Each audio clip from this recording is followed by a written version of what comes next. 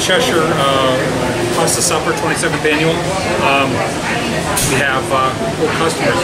We have ziti, meatballs, special sauce, and of course linguine clam sauce. What are you looking Bon for? appetit. Come back and see us on the 28th. Clam sauce, what's up? Kind of a word. My name's Adam Grippo. I'm the uh, chairman of the Republican Party here in town. And I want to thank you all for coming to this event tonight. Uh, This is a really fantastic turnout. I'm so pleased to see all of you here to come out to support our candidates. Um, It's, uh, it's going to go a long way in uh, helping us uh, assure victory on November 5th. Uh, So please uh, remember to come out and vote, uh, and and vote Republican, Where are you going? but don't, uh, don't vote often. Uh, I'd like to uh, introduce uh, some of the notables in the room tonight. Um, First off, uh, Ron Wilcox, who's our congressional coordinator for State Central. And uh, Pablo Soto, who's our uh, State Central rep.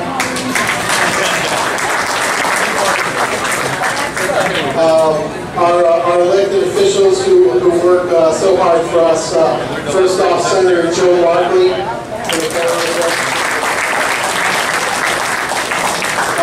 Former Senator Len Suzio and now uh, self-proclaimed uh, Michael Roberts.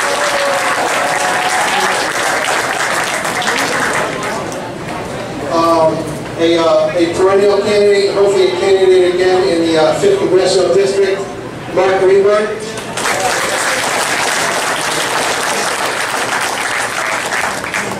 Um, uh, in the 89th uh, State Rep District, uh, Lezlye Zupkus.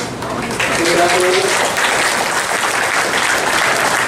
And uh, last but not least, uh, in the 103rd District, State Rep Al Adinolfi.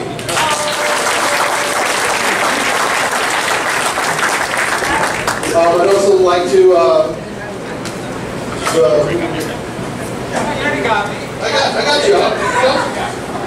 Feels good? Oh, okay, yeah.